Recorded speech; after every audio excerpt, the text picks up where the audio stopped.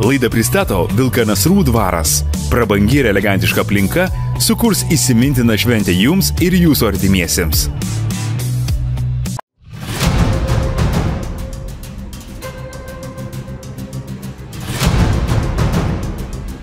Sibet! Sibet! Lažybos! Lošimo automatai! Ruletė. Neatsakingas lošimas gali sukelti priklausomybę.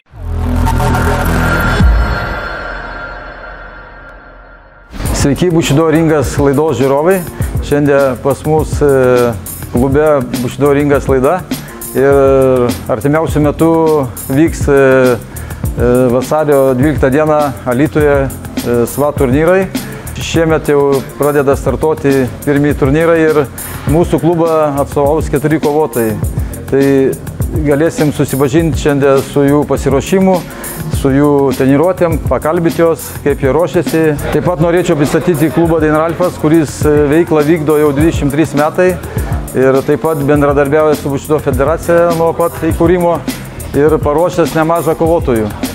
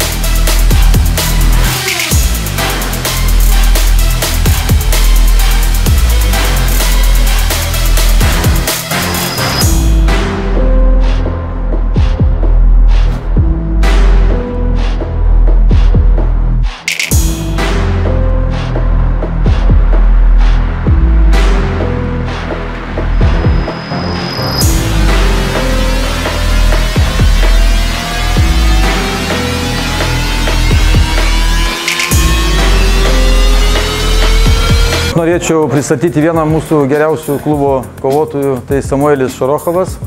Ir e, norėjau, norėtume paklausti, kaip jam sekasi sportuoti. Sveiki visi žiūrovai, na, sekasi iš tikrųjų gerai. E, Prieš na, šventinių laikotarpių pasidarėme e, šiokią tokią pertraukėlę, tai buvo mėnesis poilsio nuo sporto ir taip grįžtame į sportų su dideliu užsidegimu ir noru, noru kažko pasiekti. Sportuoju du kartus į dieną, na ir stipriai ruošiuosi. Ir e, artėja turnyras SWAT pas mumi 12 dieną. Ir e, kiek girdėjau, mes kovosim dar Rygoje. Vasario 12 dieną toks tau bus kaip ir e, išbandymas, ne, toks pasitikrinimas prieš tą rimtą jau kovą kirkėjai turnyrą. SWAT turnyre tikriausiai kovosiu pagal mėgėjų taisyklės. Tai bus na, kaip įėjimas į naują varžybų sezoną, šioks toks pasitikrinimas. O jeigu gerai pamenu, tai vasario 28, taip, e, vyks turnyras Rygoje ir tenais jau kovosiu pagal profesionalų taisyklės, intensyviai ruošiuosi, e, na ir pažadu pergalę. Kiek girdėjau, kad kategoriją darysit žemesnę. E, Neturėjau iš tikrųjų tos labai didelės patirties būtent svorio metime. Kovodavau prieš daug daugiau patirties turinčius kovotojus, kurie jau e, buvo na, pripratę mesti svorį. E, Aš tiesiog na, ne, ne, nesugebėdavau susidaryti savo taisyklingos dietos, tačiau jau įgyjau tą patirtį ir sugebėsiu numesti daugiau svorio, taip e, kovoti na, su savo parankiais varžovais, na, kurie galbūt meta tiek pat svorio, kiek ir aš. Ir, na, bus, kaip sakant, lygios jėgos. Tai ir manau, kad e, tu perėsi tą kategoriją tikrai e, būsi jau visą galvą stipresnis. Tai linkiu sėkmės e, Samueliui. Visi stebėkit vasario 12 dieną SVA turnyrą.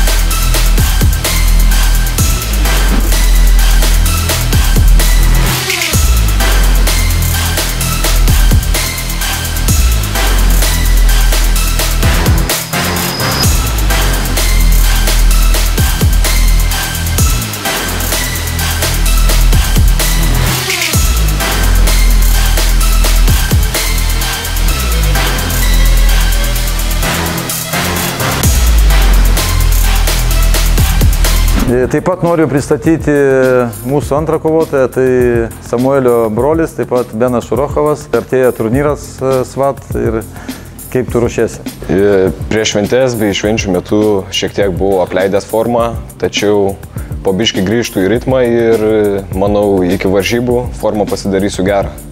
Taip pat tu kovodavai e, su vyresniais kovotojais, pas tave jau buvo tas bagažas iki 16 metų sudėtas ir tau vis patekdavo ant metų, ant dviejų skirtumo tokie kovotojai ir tau vis būdavo sunkumai tokie, iššūkiai. Taip, e, ringė dažnai tekdavo susitikti su vyresniais varžovais, tačiau e, su laiku taip pat aš augu, mano organizmas stiprėja, mano fizinė forma gerėja, žinoma, ir, ir sva turnyrė aš parodysiu, e, kad aš taip pat galiu kovoti ir su vyresniais varžovais ir laimėti. Tai tikiuosi, Benai, kad tau jau dabar vyr- vyresnis ne, neišpūs, nes jau tu pats jau eini link vyrų jau ne- ne- netoli 18 metų bus, tai gausi gal kaip tik dabar varžovai iki 18, gal 16 metų, tai galėsi ir tikrai parodyti savo gerą techniką, ištvermę ir parodyti, kaip tau sekėsi ruoštis. Thank you.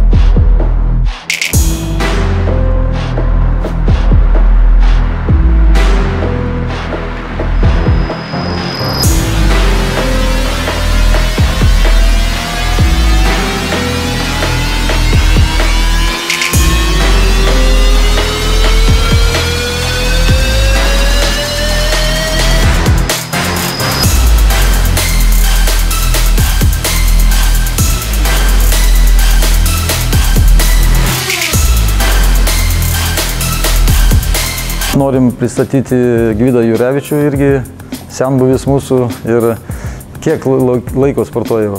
Šiam klube sportuoju jau keturis metus. E, Puikiai sekasi, siekiam aukštumų visi su komanda, stengiamės tobulėti. Koks geriausias tavo pasiekimas? Kai laimėjau Europos ten jaunių čempionatą, Ką vienas buvo čempionatas. e, aišku, nebuvo lengva, buvo ką veikti ten, sunkus priešininkas buvo. Kaip kovoji, papasako, kaip, kaip, kokie įspūdžiai? Pirmą raundą buvau gal šiek tiek įsiblaškęs, įsigandęs, bet antram raundė biškiai apsipratau, e, parodžiau savo stipresę pusę ir kažkaip trečiam raundė pavyko persvarą laimėti. Tai tavo buvo ten dvi kovos ar trys čempionatai? Dvi kova buvo. O antrą kaip kova tau sekėsi? Per vieną dieną tau buvo tenai dvi kovos. Nu, kokie įsimintiniausi tokie vis- tiek koviniai momentai vis tiek būna jau. Nežinau, gal tada, kai iš kelio pataikiau į kepenis ir ten skaičiavo tą knockdowną. Tas ir įsiminė labiausiai. Ir artėja SWAT turnyras e, e, vasario 12 dieną. Ir e, šiaip jau tu kaip ir startuosi, kaip ir debituosi šitam turnyre, nes tavo jau, jaunimo tarpe buvo tie turnyrai tokie jaunių, tai dabar vis tiek jau perini toks jaunimą ir dabar e, SWAT'e galima dalyvauti jau nuo 16 metų ir e, kaip sekasi tau ruoštis psichologiškai, fiziškai ir visapusiškai. Sportuoju šešias dienas į savaitę, e, tris dienas bėgioju krosus, tris dienas einu čia į salę, ruošiamės, sportuojam ir bandom tobulėti. Šiam turnyrė stengiasi parodyti savo geriausius rezultatus, savo pasiruošimą ir nugalėti.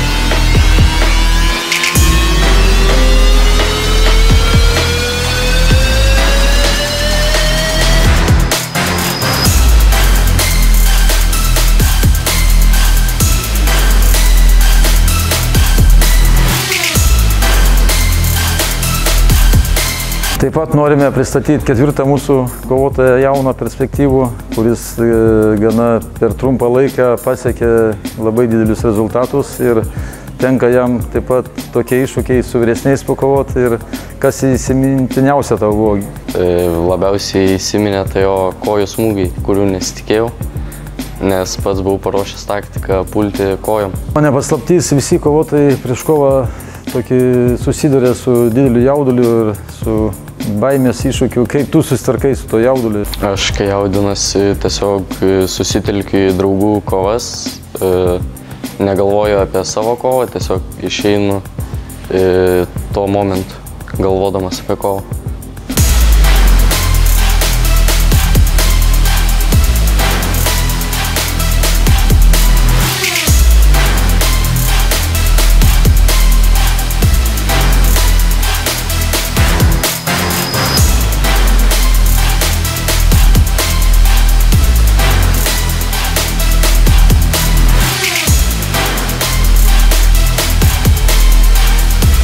Mūsų klube sportuoja ne tik vaikinai, bet ir vat, tokios aukštos, gražios merginos. Ir kas Dovilė atvedė į šitą klub- į šitą klubą?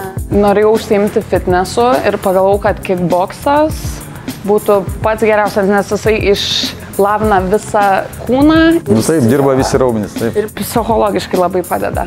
Ir kaip tau sekasi sportuoti? Labai gerai, labai patinka. Pradėjau pirmą du kartus į savaitę, labai skaudėjo raumenis, e, bet po to pripratau ir penkis kartus į savaitę. Tai e, jau šeši mėnesiai ir turėjau vieną kovą. Ir e, kaip ta kova? Sekas.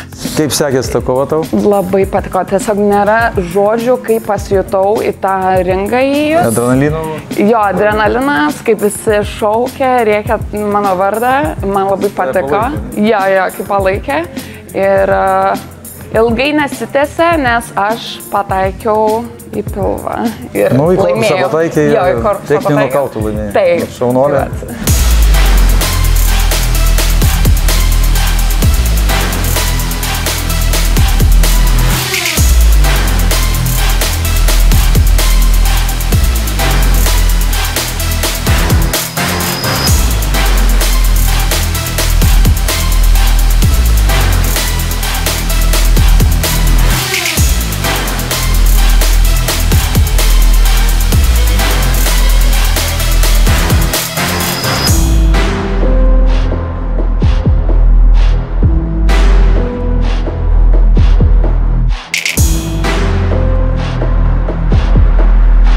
Taip pat e, noriu pristatyti antrą mūsų kovotoją, tai Deimantė Daukšaitė, mano dukra. tai e, kaip sekasi tau sportuoti? Oi, labai džiaugiuosi, kad tėtis atvedė čia, nes ir tikrai man patinka šitas sportas ir noriu da- dar daugiau tobulėti ir siekti tikslo. Ir e, dabar atėjo turnyras, bus klubė 29 dieną ir bus vasario 12 SWAT turnyras. Tai norėtum susikauti turbūt. Jo, nes labai noriu, o varžovių labai sunku rasti ir jau e, antrą kartą prašau, kad e, būtų kova ir labai norėčiau sukovoti ir toliau sužinoti e, savo klaidas ir žiūrėti, kaip toliau man seksis ši karjera. Nu, tikiuosi, kad mes rasim tavo kovotoją ir linki tėvelis tau sėkmės.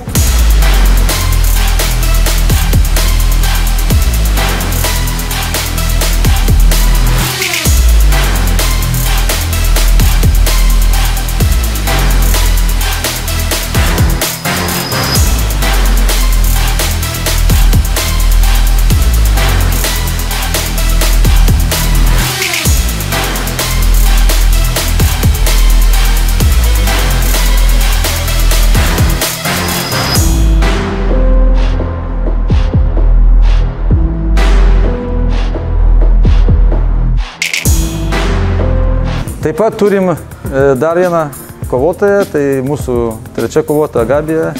Ir kas atvedė į šitą klubą tave? E, pamačiau, kad draugai sportuoja ir pati norėjau išbandyti, labai patinka šito sporto šaka. Ir e, kiek jau sportuoji laiko? E, metai antreina. Ir kaip sekasi tau? Nu, normaliai sakyčiau. Jeigu ne traumos, būtų dar geriau, ne? Jo. Ir ką galėtum pasakyti apie artėjančią kovą, jeigu mes surasim tavo priešininką? Mm, kad tikrai norėčiau pakovoti, pabandyti. Su jumis buvo klubo treneris ir prezidentas Dainius Daukšas. Ir šią laidą to ir baigiame. Stebėkite Bušido ringas laidą, kurioje matysite naujienas apie artėjančius turnyrus. Iki.